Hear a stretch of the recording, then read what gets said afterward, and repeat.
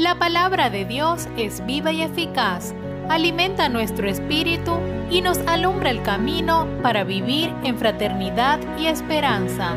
La voz de la misericordia te invita a meditar el Santo Evangelio del Día.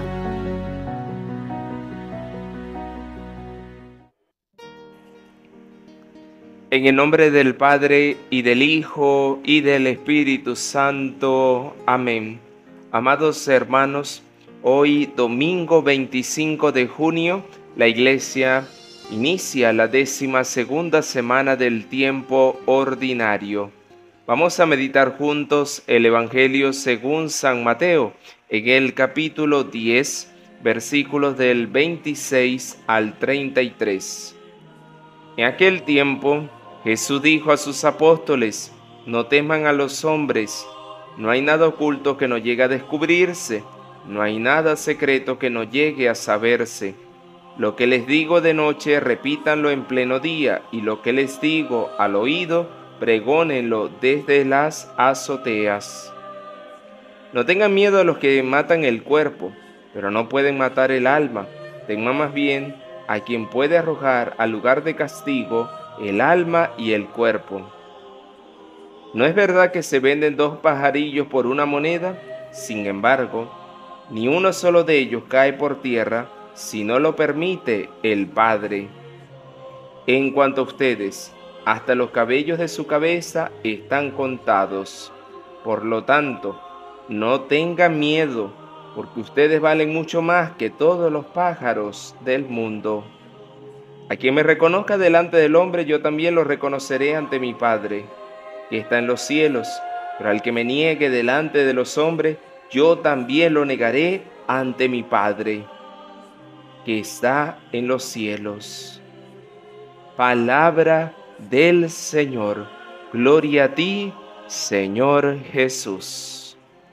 Mis amados hermanos, sean bienvenidos a este su encuentro diario de la meditación del Evangelio del día por tu emisora católica La Voz de la Misericordia, quien les acompaña su amigo y hermano seminarista Aulo González. No teman a los hombres. Jesús nos los recuerda tres veces. No tengan miedo. Es decir, reconozcamos la fuerza del Evangelio que es incontenible Dios es nuestro Padre y cuida de nosotros sus hijos. Nadie puede matar el alma, así que estamos llamados a la valentía que alcanzaron y en la que vivieron los mártires, quienes confesaron su fe sin temor. Siempre dieron la cara por Cristo y dieron testimonio firme y valiente de su fe.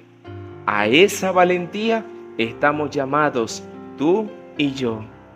Hermanos, el mundo de hoy necesita cristianos que se atrevan a dar la cara por Cristo, a dar testimonio con su vida de la eficacia del Evangelio.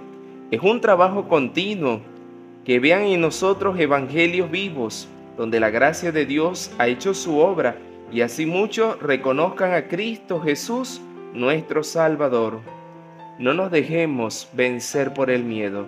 Al contrario, vamos a vencer el miedo con la gracia y la ayuda de Dios.